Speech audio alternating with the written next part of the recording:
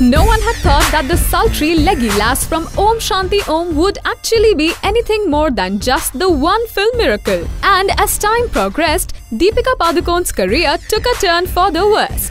But once Cocktail became a hit, Deepika's career graph has been only reaching further stars.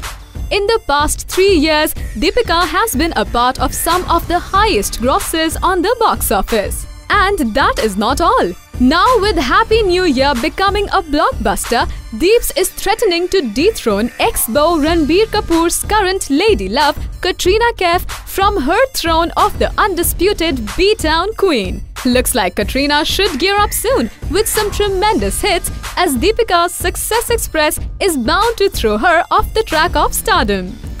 For more Bollywood news and gossip, subscribe to our channel.